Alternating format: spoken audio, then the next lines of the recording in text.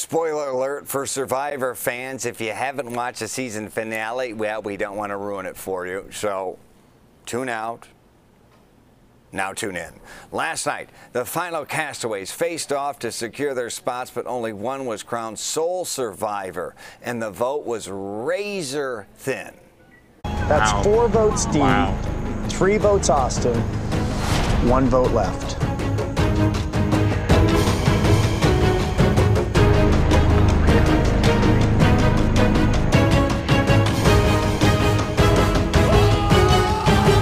Survivor 45, Dee.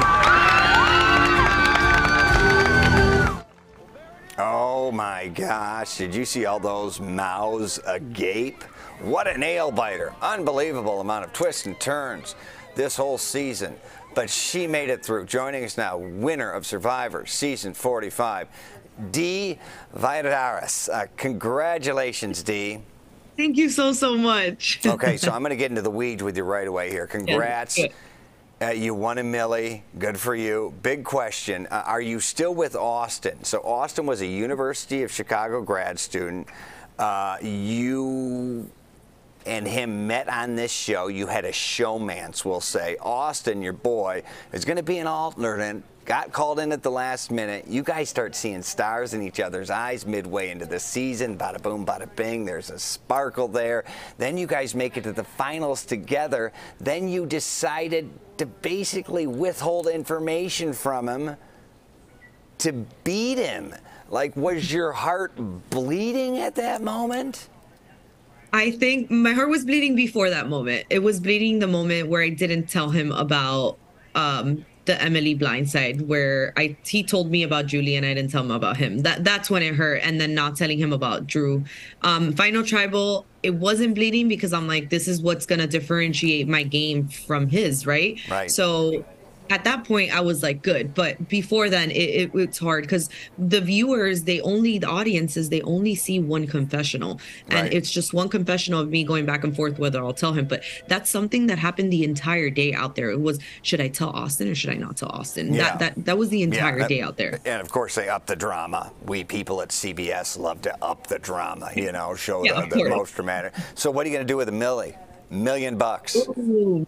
I am gonna invest it. I'm not gonna like spend a lot of it to be honest. I'm gonna invest it. I'm gonna like pay off some fam debt and yeah, buy a property for sure and maybe just go shopping like one day, but nothing too crazy. yeah, that's good for you. Get a little rental income going or buy oh, yeah. something for yourself, yeah, whatever you definitely. got. Yeah, so, I need to be set like far beyond this.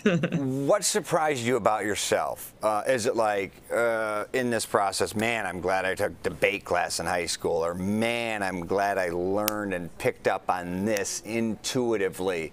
You know, this is kind of a Lord of the Flies scenario you're in. And like for those of us watching that don't see the show, and want to become winners like you, um, what did you learn that made you become that winner? Mm, that's a great question. Um, I think for me, part of that win was my intuition for sure. Um, but I also feel like that comes like natural to me. So for a lot of people, it doesn't. But one thing that I was so grateful for is just like just having a working out lifestyle, having an active lifestyle really helped in this game. I won yeah. three individual immunity challenges and I just feel like if you're gonna go to this game, like you better make this a lifestyle. Like you need to love to burn and love to hurt. yeah. Um, but other than that, like I was surprised how resilient I was. Like I didn't eat for two weeks, just coconuts, straight up coconuts and water for two weeks. Like my stomach shrunk and I was still able to go to the challenges. I was still able to strategize. Um, so that that's absolutely insane. Yeah, think clearly, and I, and I it's remarkable too. And I think if you're going to go at life, you got to go physically active. If you really want to make a go at life, period. Question: oh, yeah. Are you still with Austin? Ooh, that's a great question. I've no, been getting it's not a great a question. It's a yes or no. Yes, it is. We have decided to keep it private for now, only because oh it's so hectic. Gosh. I know, Brad. I that know. means you're still together. That, got, that has to mean you're still together because you wouldn't keep it private if you were fighting. I can't say. I can't confirm or deny. We just, you know, it's a lot. It's very well, heavy, and it's going to okay, get so you, if you are with him and you guys do do this come out the year together since he's Chicago. He's our boy. You guys oh. come back on with us, will you? If your girl. well, my, yeah, but but but if if you are six months, you we, would love to talk with you again. Oh, that'd be awesome. Yes. Okay. You're a delight. Good luck with your investment. Oh, you I love what you're saying. You Smart so thinking. I really appreciate it. Can't think of a better a winner of the show. And of course, your show is our show. It's our biggest hit, and you are going to be a great representative for it. Uh, Dee Valladares, Survivor Season 45 winner. Thank you. Merry Christmas. Thank you so much. Happy holidays. Nice talking to you. Great talking to you.